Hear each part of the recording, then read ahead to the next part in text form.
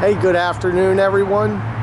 Our boat today is a 1998 220 Wellcraft Coastal with a 200 horsepower Johnson outboard, oil injected, power trim and tilt.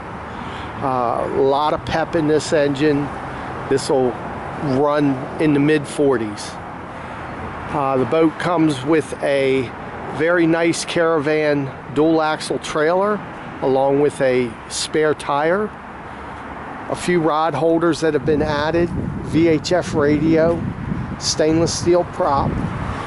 We don't know the hours on the engine because there's just no way of determining hours on this. And it's not on the dashboard either. Uh, I'll point out any flaws that we see. Uh, we just buffed and waxed it, rub rail down. Looks like there's been a professionally done repair right here on this side.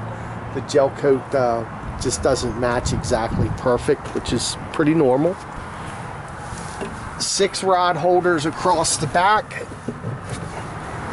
and two more up top and four more on the side. So you've got 12 rod holders plus two up front for a total of 14 hydraulic steering, has a VHF radio, a live well, also has a washdown, dual batteries, a big uh, fish well in the floor. Everything on the boat is a uh, self-bailing cockpit this is a true walk around with a bow pulpit up front.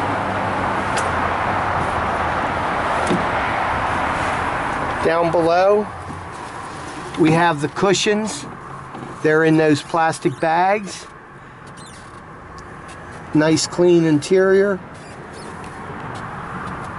This boat will sleep two with no problem.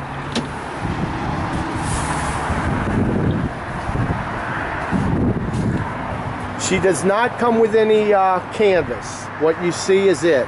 There is no canvas for the boat. Got a, a well on this side and also a well over here on the uh, starboard side. Overall, nice, simple, clean fishing boat. M&M Boat Sales. We sell boats for less, guaranteed stop in and take a look. Remember, life is short. Let's get out and enjoy it while we can. You can like us on Facebook or subscribe to our YouTube channel for immediate notification of any of our new product that comes in. Thanks a lot for watching. Take care and hope to see you down at M&M.